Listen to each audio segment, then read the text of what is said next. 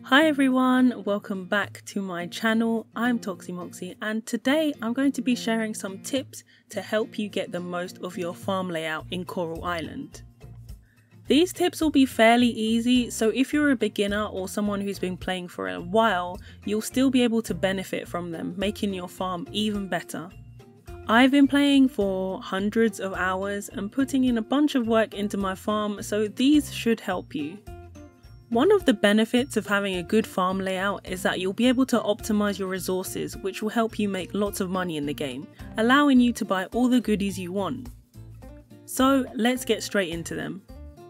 Before we start messing around with the main farm area, there is one important thing you need to do before you get started, and that is to clear your farm of all debris.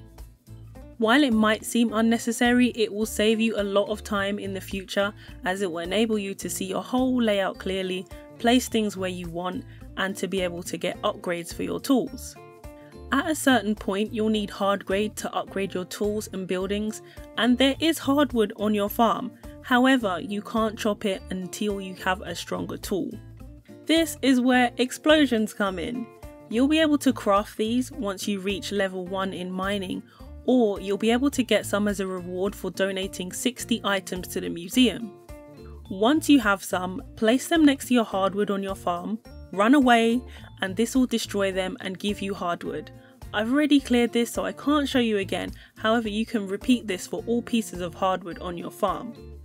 If you're new to farming games, don't worry about chopping trees down as you can always take the seeds they drop to grow more and place them exactly where you'd like them to be.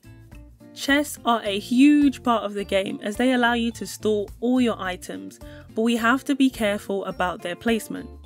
Once you place a chest down and you fill it up, you won't be able to break it to move it somewhere else unless you empty it all out. One of the best places I've found to place chests are next to my house. The areas surrounding the house are not in the main section of the farm, this means you'll have easy access to them. I like to place them close together, which is good as it saves you time when looking for what you need. Not all of them need to be next to your house. Another area I've found to be great is the area to the middle right of the farm. If you didn't know, you can rename your chest so it's easier to remember what's stored inside. All you have to do is open the chest and at the top you'll see an option to rename it.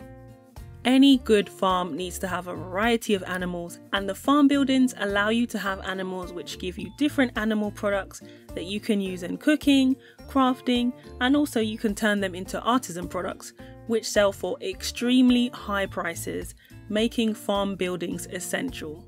The first farm buildings that are great to get started with are the coop, barn, and silo. One of the easiest buildings to get is the coop which houses chickens, ducks, quails, and peafowls.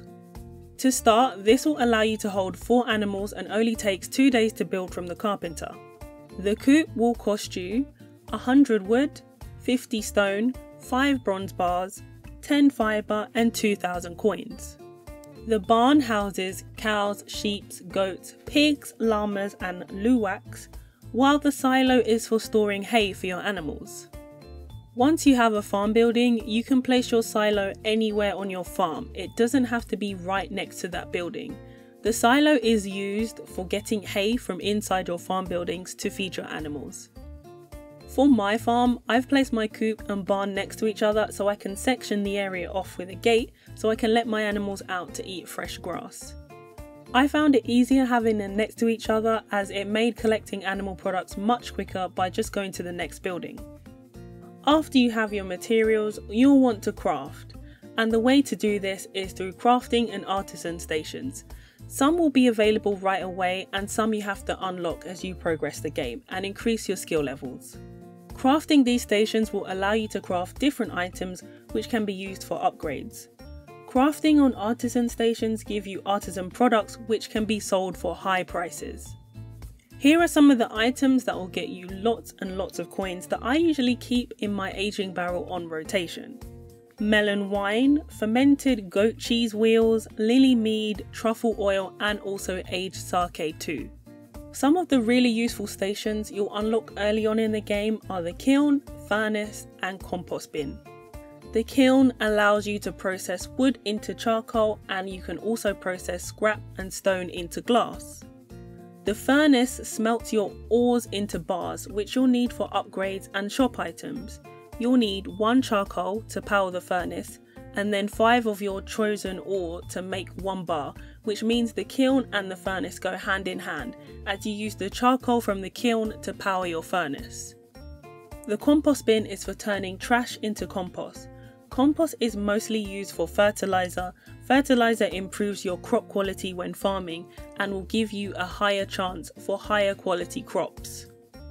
The higher the quality of the crop, the more they'll sell for. This also applies when using them in an artisan station. If you put a silver quality item into an artisan station, the result will also be silver. I found that placing my stations around the edge of the farm meant that not only would I have space in the middle for decorating, but I found it so much easier when going from station to station to collect the items after they've been processed. The area where you want to plant your crops is really important as you'll want to plant a variety of crops. To protect your crops, you'll need scarecrows. To begin with, you'll be able to craft a makeshift scarecrow, but later on you'll have access to the ordinary scarecrow, which has a radius of 11 by 11 tiles, meaning you'll have much more space to plant. As well as the scarecrows, you'll need sprinklers. Sprinklers are so useful as they'll keep your crops auto watered. Also, if you have a lot of crops, this is vital as who wants to keep manually watering? Just like the scarecrow, you'll have different levels of sprinklers. Sprinkler 1, which is a 3x3 radius, Sprinkler 2, which is a 5x5 radius, and Sprinkler 3, which is a 9x9 area radius. Later on in the game, you'll also be able to add attachments to your sprinklers, such as auto fertilizer and auto harvest.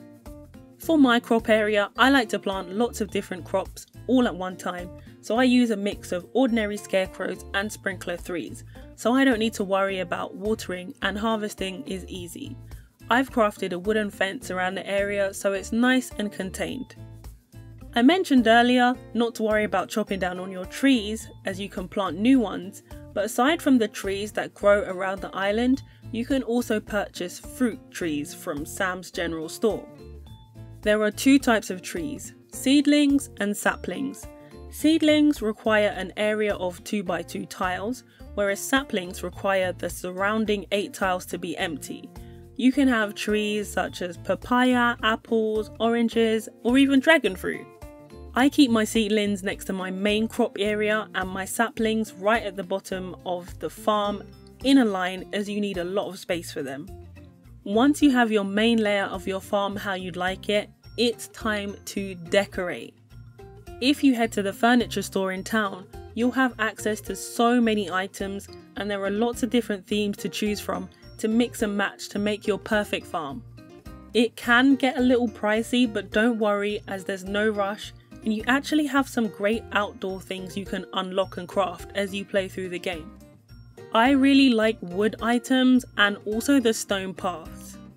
A little tip is that when you want to place or rotate your furniture, if you face that direction, the item should also face the same direction. It may seem a little daunting thinking how you can decorate your whole farm, but I found if you focus on small areas and work around them, it will be much easier. Don't forget, by pressing P, you'll be able to see your entire farm, and this will give you an idea of how you want to place your items. I hope these tips help you optimize your farm layout a little bit more. Just remember, you don't need to rush, play at your own pace, and enjoy farming life on Coral Island. Thank you so much for watching this video. I hope it's been helpful. If there's anything you'd like to see next, please let me know in the comments below. Take care. Bye.